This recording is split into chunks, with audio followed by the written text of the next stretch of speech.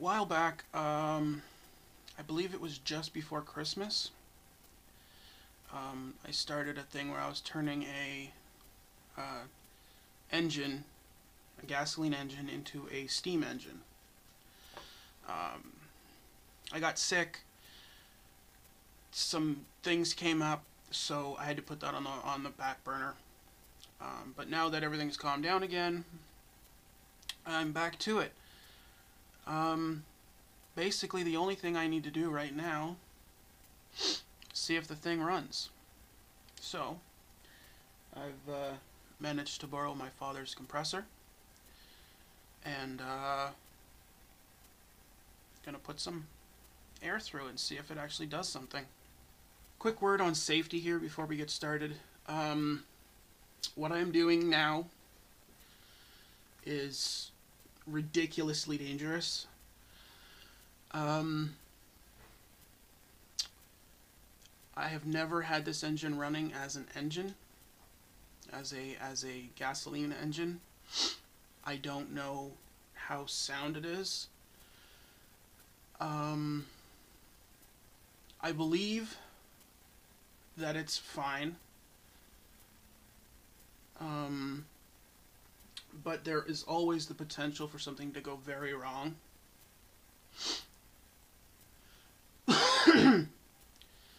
so, um, I'm not going to say don't try this at home, but if you are going to attempt to do something along these lines using high pressure uh, air or high pressure water, you always want to be very careful.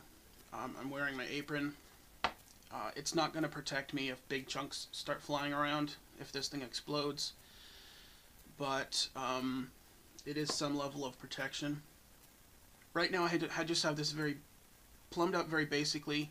Um, I have the compressor. I'm using the um, pressure regulator as an on-off switch.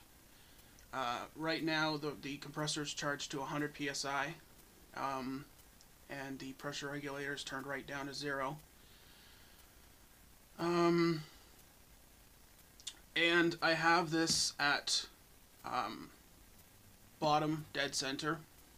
Actually, it's a little bit above that, um, which means that the valve is open. So as soon as I start letting air in, it's not going to do anything. It's just going to go right out. So I'm going to turn the pressure valve on we're going to see what happens.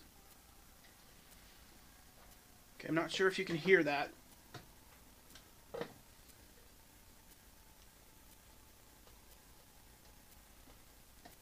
Damn, it's leaking around the top. I gotta tighten that up.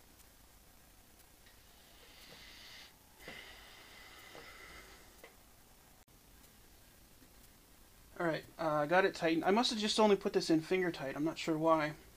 But uh, it's all tightened up now. Um, I do have air going into it at the moment. But uh, it's almost nothing. It's only about half a psi. So, we're going to crank it up and see if it does anything.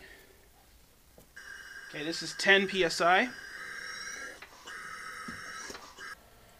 A bit of a technical snafu. Uh, I'd forgotten that I'd turned the compressor off, so it's back on. Um, and uh, I think we were at 15 psi.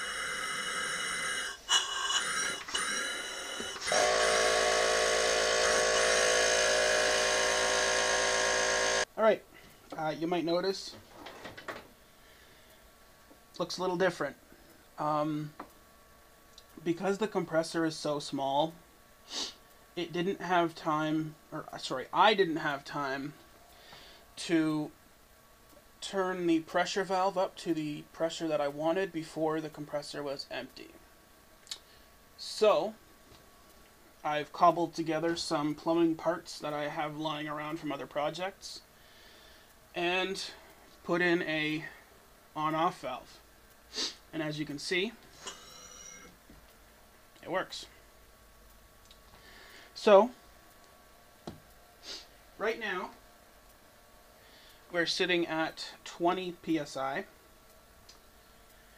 And as you can see, it completed its revolution, but it didn't continue that revolution. I'm hoping that is just because there's not enough air and I'm, I'm hoping it's not because this is not an adequate um, uh, flywheel because that would really suck.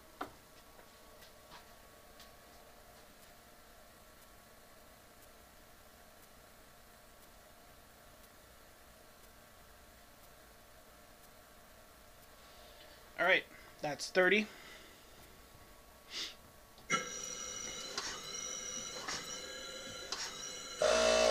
This is 50 psi.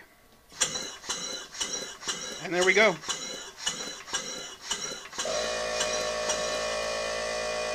So, um, I'm surprised. It works really well. Uh, I did a quick test. Um, I cranked up the pressure to 60 psi. I opened the valve and I let it run um, to see when it would stop.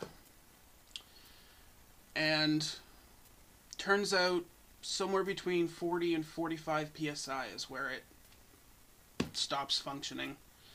Um, which I'm perfectly happy with. To be honest, I was expecting like 80 to 90 psi to get this thing running. Um, now, I actually have to turn it into some sort of steam engine. Um, we already know that it runs on compressed air. What I'm going to do, I have several propane tanks that are um, no good anymore. They're past their due date of 10 years. So I can't get them refilled. Can't exchange them, but I don't need an exchange tank. So, I'm going to take one of those.